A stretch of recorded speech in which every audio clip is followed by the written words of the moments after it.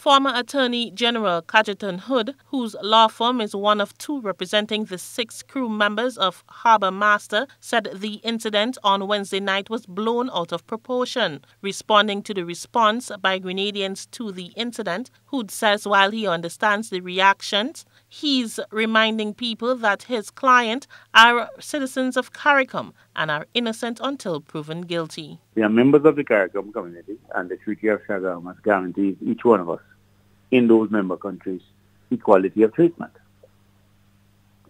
In reality, whatever might be out there, whatever videos or other things that might be out there, whatever statements might have been made, it is dangerous to jump to conclusions because remember, each person in Grenada, under our constitution, has the protection of the presumption of innocence. Secondly, each person, whatever the gravity of the crime,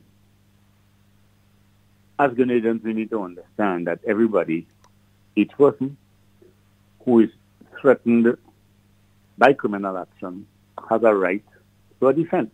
Hood confirmed that his law firm Hood and Hood was contracted by the harbour master to represent its crew members who were involved in the incident.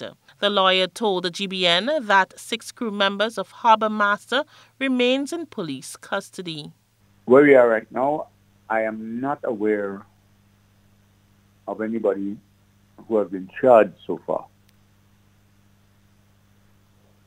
I know that the police were interested in interested in interviewing at least six members of the